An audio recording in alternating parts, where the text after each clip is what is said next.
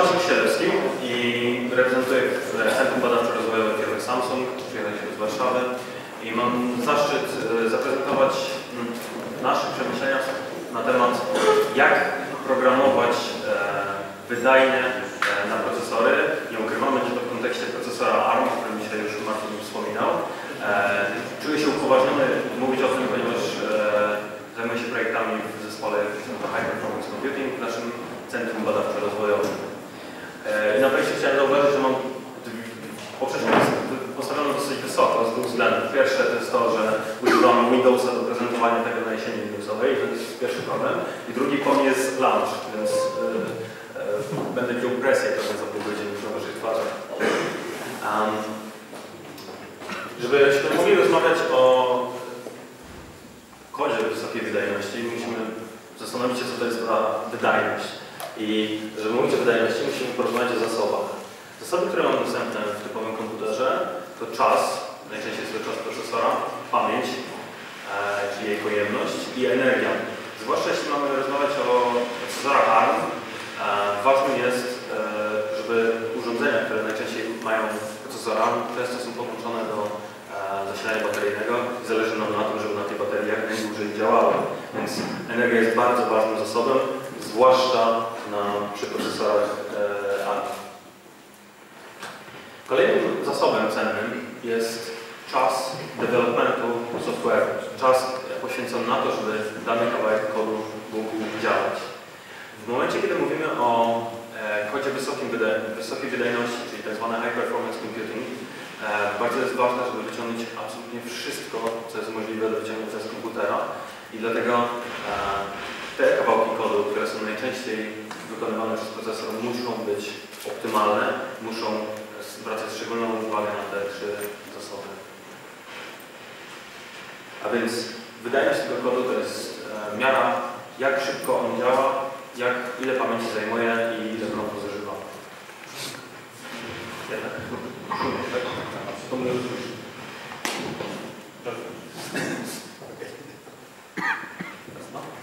Okej. Um, zaczniemy. an- Jest włączony. Jest Okej.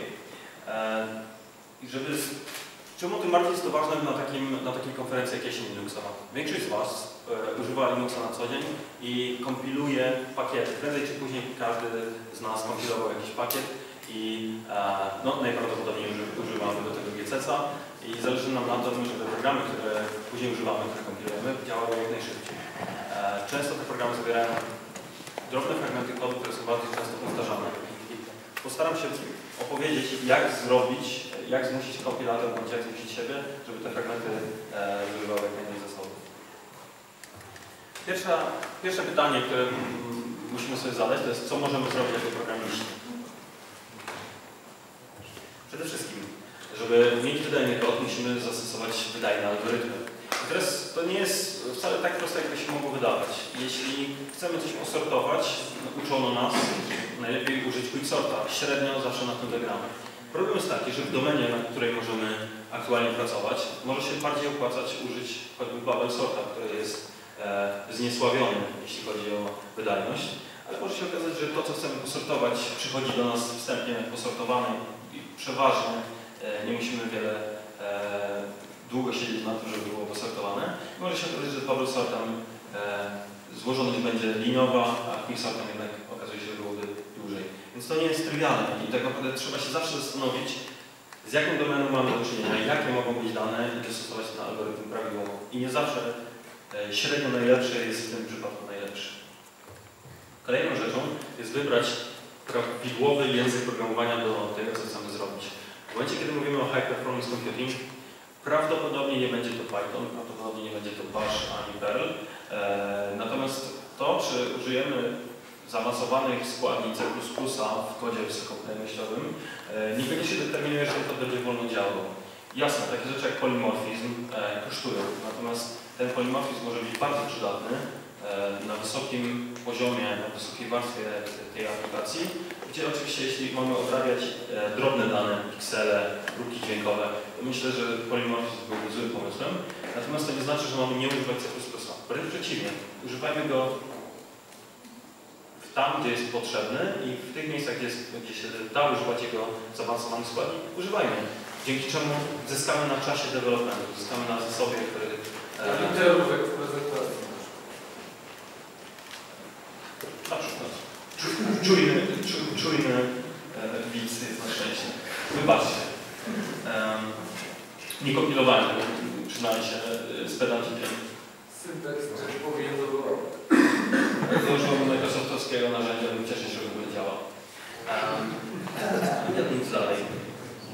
Um, bardzo ważne jest, żeby wiedzieć, e, na czym będzie uruchomiony program, który piszemy, czyli wiedzieć, na co programujemy. Jeśli wiemy, że procesor, który będzie na którym będzie uruchomiony kod, jest to na przykład ARM, warto się dowiedzieć ARM z której generacji, z jakimi featureami, z jakimi e, możliwościami.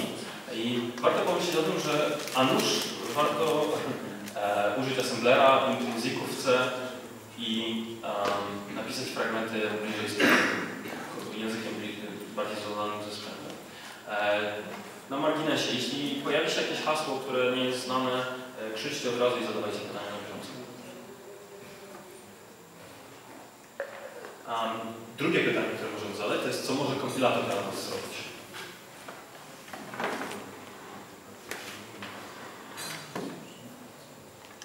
Przede wszystkim kompilator powinien znać e, architekturę komputera, na który kompiluje kod. Czyli w przypadku, kiedy kompilujemy na ARMA, powinien wiedzieć, jak ARM działa, e, powinien e, wiedzieć, jakie ma rejestry, jednostki wykonawcze e, i jak działa. Więc możemy liczyć na to, że GCC potencjalnie wyprodukuje dobry kod, jeśli mówimy, na co ma skompilować ten kod. I tyczy się tu też Intela. Po to mamy MRK i MTune'a, żeby powiedzieć, użyj wszystkich dostępnych zasobów tego procesora. W przypadku multimediów, w przypadku szyfrowania może się okazać, że to zaczyna działać dwukrotnie szybciej, e, bez większych optymalizacji już w samym kodzie. Drugą rzeczą jest e, model wykonania, czyli to, jak procesor działa. To nie jest oczywiste, ponieważ dzisiejsze procesory są bardzo skomplikowane. Instrukcje przez ten procesor przelatują e, wieloma gałęziami i tak naprawdę jednostek wykonawczych w procesorze nie jest jedna i jest ich wiele, które są dynamicznie i przy, przewidywanie tego, jak takie instrukcje są wykonywane jest bardzo trudną sztuką i myślę, że jest bardzo niewielka garstka osób na świecie, które naprawdę wiedzą, jak taki ARM, Intel e, będzie się za- zachowywał e, podczas uruchomienia tego kodu czy, czy działania.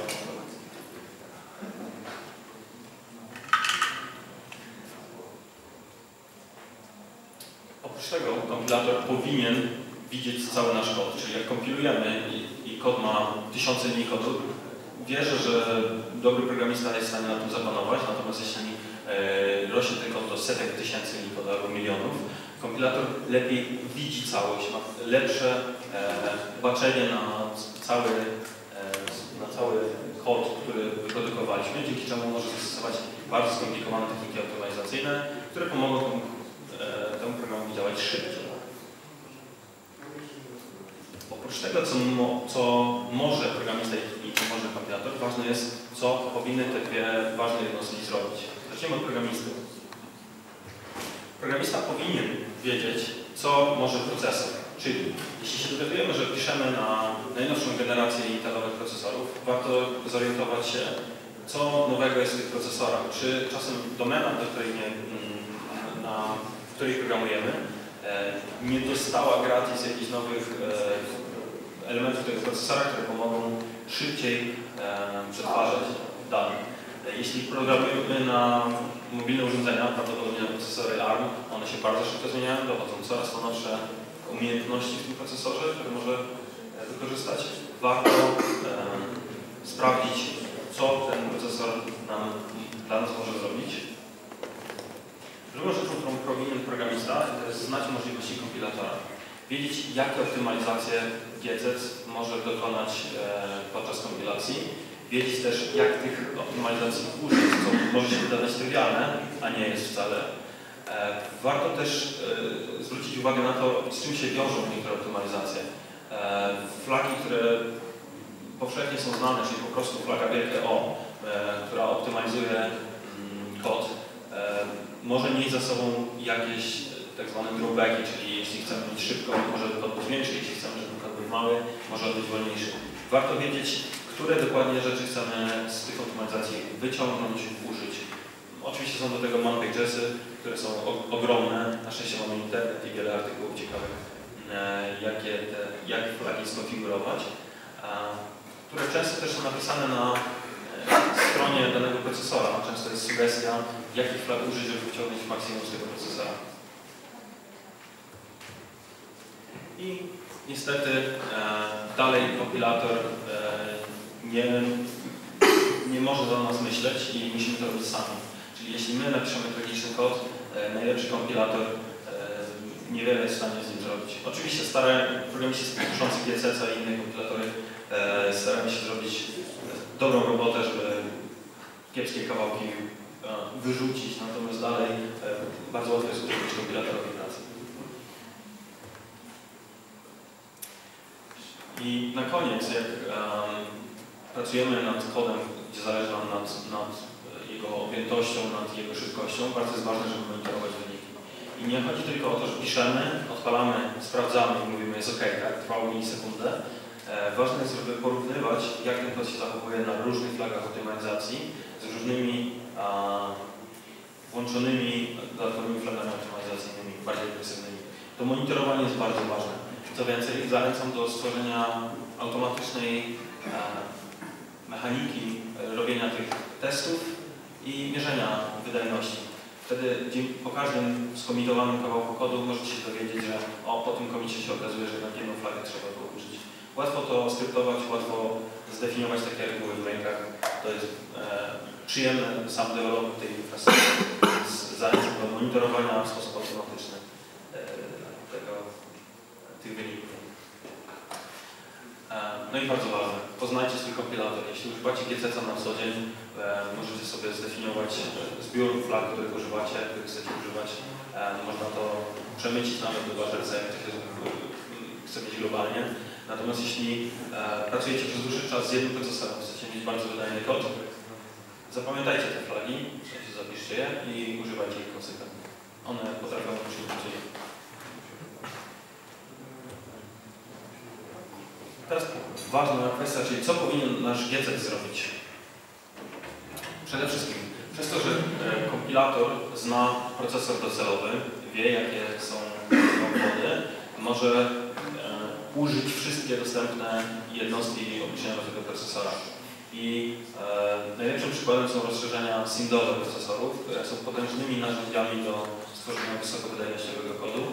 E, Kompilatory są rozwijane zanim często, często zanim procesory wyjdą na rynek, więc e, możemy spokojnie zakładać, że w momencie, kiedy już programujemy na jakiś procesor, już e, GCC jest w stanie wykorzystać nowe jednostki obliczeniowe tego procesora. Więc e, absolutnie możecie wymagać od kompilatora e, używania kawałku każdego tranzystora, który w tym procesorze się znajduje. Kompilator dzięki temu, że widzi cudzysłowie cały kod, może stwierdzić, które fragmenty należy wyoptymalizować bądź rozwijać i mainować w miejscu wywołania. Bardzo, to jest bardzo prosta arytmetyka, która kompilatorowi przychodzi łatwo, bo kompilator ma dosyć pojętą pamięć, e, a człowiekowi czasami jest trudno oszacować i policzyć to mm, w locie, więc e, możemy spokojnie wymagać od e, kompilatora, żeby zminował część funkcji, dzięki czemu kod będzie działał i szybciej i często może nam być mniejszy, mimo że inlinowanie zakłada, e, że kod może się rozszerzyć.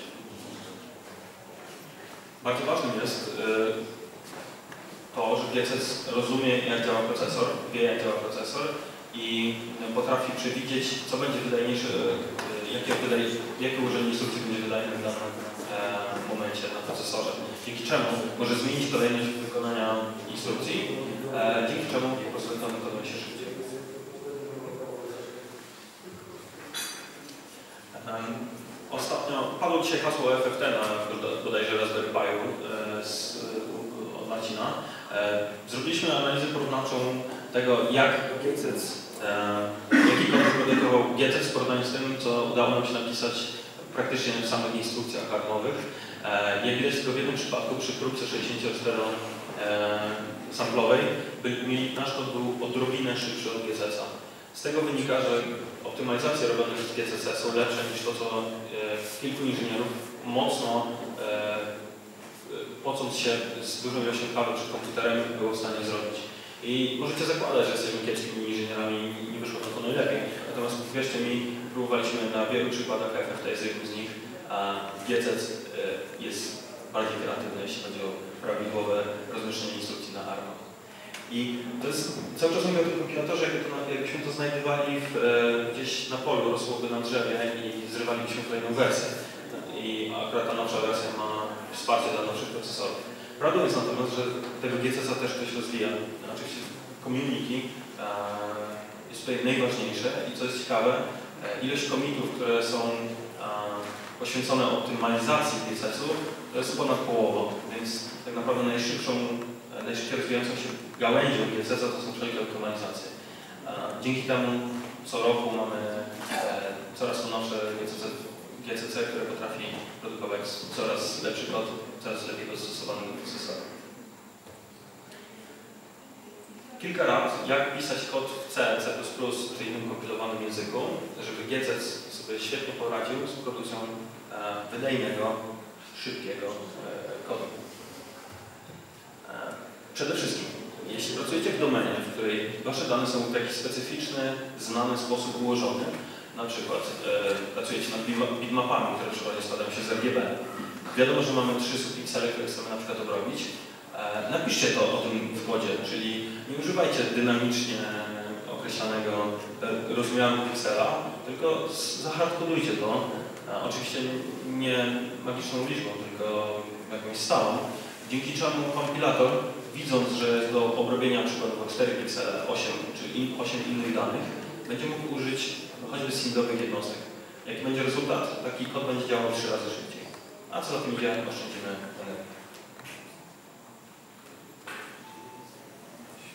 Jeśli wysad... Czy mógłbyś rozwinąć ten skrót SIM i powiedzieć chociaż w jednym zdaniu, co właściwie robi to rozszerzenie procesora? Używać tego skrótu cały czas. Dobra uwaga. SIMD oznacza Single Instruction Multiple Data, czyli mamy jedną instrukcję wykonywaną na mm, większym zbiorze danych. Jest to y, specjalna umiejętność procesoru, gdzie dla wielu podobnych danych można zastosować e, tę samą instrukcję. W Intelach jest to obecne od e, Pentium MMX, czyli od lat 90. W ARMach jest to dostępne od kilku ostatnich generacji. E, Co nam to daje? E, W jednej instrukcji, w jednym cyklu możemy zrealizować 8 operacji. Do 8, czasami nawet 16 operacji, dzięki czemu no, zyskujemy czas. Te singlowe rozszerzenia mają też swoje rejestry, dzięki czemu te dane przewołujemy w zupełnie innych rejestrach, które nam nie robią bałaganu w e, normalnych rejestrach, dzięki czemu może się ta cała sytuacja dziać na boku, równolegle do wykonania klasycznego kodu. Więc wykorzystanie tych jednostek singlowych jest bardzo, bardzo ważne i sam fakt e, kompilacji z flagami, które same wygenerują takie instrukcje, już może przyspieszyć kod o, o dwu, trzykrotnie, mm, jeśli macie dużo tego typu. Satysfakcjonuje to odpowiedź? Um, następnym, następnym sposobem ułatwiania GCC-owi pracy jest e, pisanie funkcji innej. W momencie, kiedy sami zaznaczymy, że pewna funkcja powinna być rozwijana w miejscu wywołania, e, dzięki temu, że te instrukcje będą wtedy obok siebie na procesorze, e, można łatwiej przewidzieć, przesunąć pewne instrukcje już podczas działania kodu, dzięki czemu wydajność oczywiście się zwiększa. Większość procesorów, czyli te dwa najpopularniejsze, na których dzisiaj działa, czyli Intelowe e, i ARMowe, e, działają w tak zwanym trybie out of order, czyli instrukcje nie są wykonywane po kolei, instrukcje mogą być e, wybierane, te, które warto teraz uruchomić, warto teraz wykonać. Więc jeśli użyjemy funkcji innej, to te, będzie dużo łatwiej procesorowi przebierać w tych instrukcjach i wybierać to, co opłaca się wykonać w danym momencie. Więc warto się zastanowić, co powinno być inne, a co nie i używajcie tego, Em, Zamiast e, wypisywać, e, pisać kolejną pętlę, e, jakiś ciąg instrukcji dosyć skomplikowany, poziomowy, czasami lepiej takie rzeczy rozpisać. I e, mimo, że ten kod może wyglądać obleśnie, może nawet się dowiązać z prawem kopiego paste'a, to dalej czasami to opisanie operacji może przynieść wymierne pozytywne rezultaty. Choćby dlatego, że kompilator zauważy, że część tych instrukcji się powtarza i może, może wtedy zastosować e, choćby znowu użyć tych jednostek symbolowych. Explicit też nie, niekoniecznie oznacza, że te instrukcje będą linia po linii wypisane w pliku źródłowym. To może być pekla for, która jest e, małego rozmiaru, mała ilość iteracji, znana podczas, e, podczas kompilacji. To ma duży zysk, daje duży zysk. E, Kolejną rzeczą jest to, że jeśli przekazujecie do funkcji e, dane przez wskaźniki, to kompilator nie wie, czy e, przez ten wskaźnik będziecie się odwoływać e, do tego, na co wskazuje, czy do danej obok, czy do danej, e, czy czasem e, inny wskaźnik, który dostarczacie, nie jest na tą samą daną. daną. Jeśli przekazujecie przez wartość, to ta wartość będzie bezpośrednio użyta. Przez co e, kompilator nie musi zakładać, że możecie się do, do tej danej dostosować z różnych miejsc, się nazywa oficjalnie aliasingiem, więc e, jeśli będziecie używać więcej wartości niż wskaźników, e, jest szansa, że wasz kod też zostanie lepiej wyoptymalizowany. To jest kolejna rada, która może spowodować, że e, kod o dziwo zacznie działać szybciej.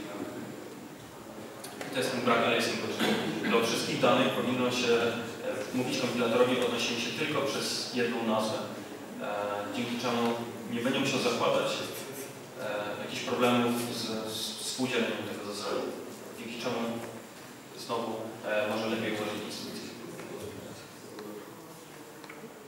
Bardzo ważną uwagą jest, jeśli piszecie kod czytelny dla Was, czyli, czyli dla Waszego kolegi programisty, koleżanki programistki, e, to prawdopodobnie on też będzie czytelny dla GCC. Czyli lepiej poradzić sobie ze zrozumieniem tego kodu i wyoptymalizowaniem. I wiem, że to może brzmieć mocno trywialnie, natomiast to działa. Czyli jeśli Wy próbujecie za wszelką cenę napisać kod, który będzie rewelacyjnie szybki, bo użyje bardzo trudnej składni i będzie wszystko działało na jednym wskaźniku z jakimiś magicznymi offsetami, e, to taki kod bardzo słabo się wyoptymalizuje, praktycznie nie wyoptymalizuje się w ogóle i będzie po prostu działał wolno. Więc warto o tym myśleć w tym kontekście. Jeśli piszecie czytelny kod dla Was, piszecie też czytelny kod dla kompilatora.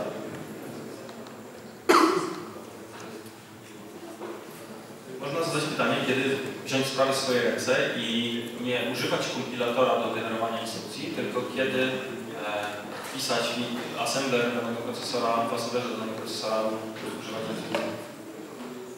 Pierwszym najlepszym przykładem jest, kiedy ten procesor dostarcza nam funkcje, instrukcje, które działają e, w specyficznej domenie. Przywołam tutaj ARMA. Dwie ostatnie generacje ARMA e, mają wiele rozszerzeń do multimediów. E, najlepszym przykładem jest e, instrukcja saturacji, która mm, instrukcje różne arytmetyczne z saturacją, które powodują, że można na przykład dodawać dwa piksele i nie przekroczyć nigdy 255. E, Nie muszę Wam mówić, jaki jest zysk z wykonania takiej instrukcji. Odpada nam branching, czyli leaf, który trwa długo na procesorze. Taki kod może działać 6, 10, 15 razy nawet szybciej. A jeśli użyjemy jeszcze do tego SIMDA, to jeszcze pomnóżcie razy 4 lub 8. Więc e, mimo, że procesor wydaje się nisko taktowany, e, wydaje się, że ma mało na przykład rdzeni, może dalej być bardzo szybki. Drugim przykładem jest e, adresowanie z przeplotem. Jeśli mamy bitmapy w pamięci RGB, to załóżmy, że mamy po 8 bitów na subkanał.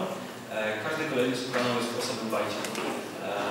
ARM pozwala wyciągnąć ciąg samych pikseli, subpikseli niebieskich, zielonych do odpowiednich rejestrów e, co trzeci bajt, czyli potrafi sam wyciągać co trzeci bajt na przykład z pamięci, albo co czwarty.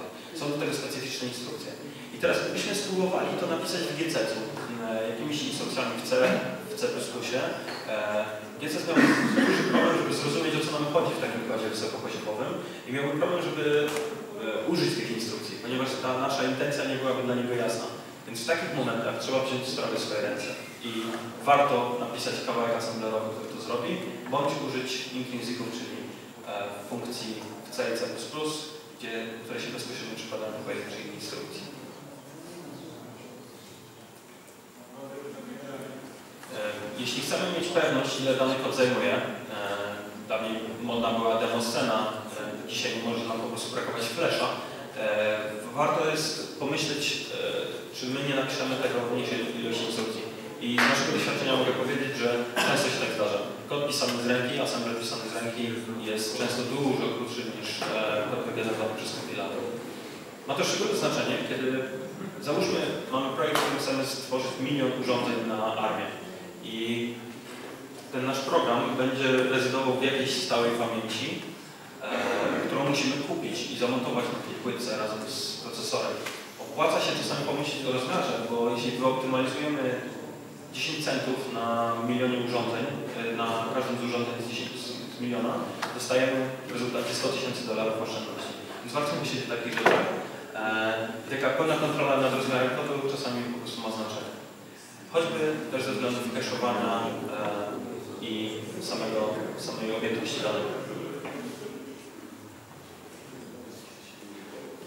Tak jak przy saturacji, tak jak przy przeplocie, czasami e, mamy, chcemy użyć pewnych rzeczy, które kompletnie po prostu może nie zrozumieć. Mamy jakieś intencje e, i GCC nie jest w stanie sobie z tym poradzić. E, nasze ify, nasze skoki, różne switch case'y e, mogą być zastąpione pojedynczymi instrukcjami, które znacznie szybciej działają, czego, na co GCC czasami może po prostu nie wpaść. I dlatego monitorujcie rezultaty kompilacji, żeby wiedzieć, czy czasem nie macie do czynienia z taką sytuacją. Dlatego jeśli macie skomplikowane intencje, które procesor potrafi zrealizować, warto to wziąć sprawę w swoje. Natomiast bardzo ważne jest to, że GCC jest bardzo słabym kompilatorem i bardzo dużo jest w stanie sam zrobić, więc w 90% przypadków nie warto brać sprawy w swoje ręce i po prostu tylko napisać czytelny, wysokopoziomowy kod w C lub C++, e, dzięki czemu GCC zrobi za nas kawał, kawał E, Jestem otwarty na pytania, e, tym bardziej, że domena jest... O, widzę. Stary mikrofon. Już, już.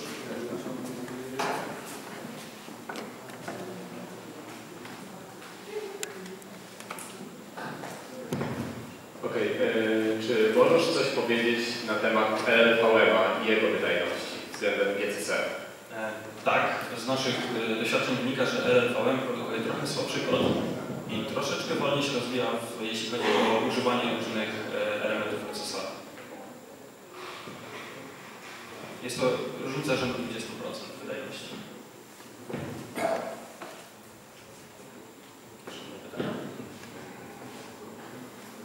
Jeszcze jakieś pytania?